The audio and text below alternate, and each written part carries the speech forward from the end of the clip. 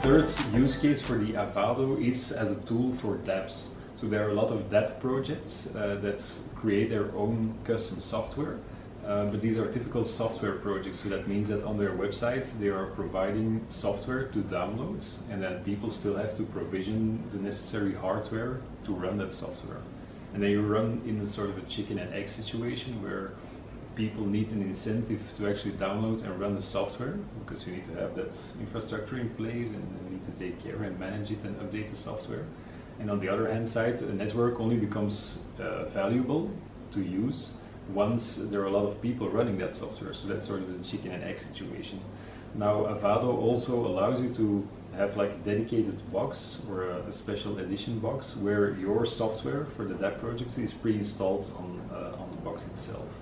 And then you can offer it to your community so people, instead of just uh, having an option to download the software, they can just purchase a whole box with the stuff pre-installed. So that means that you open up uh, the opportunity for people that are not tech savvy enough to set all that stuff up themselves uh, to actually to participate in your dApp.